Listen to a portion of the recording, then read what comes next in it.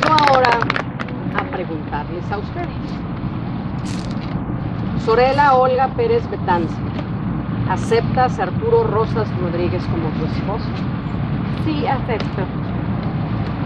Arturo Rosas Rodríguez, ¿aceptas a Sorela Olga Pérez Betanzi como tu esposa? Sí, acepto.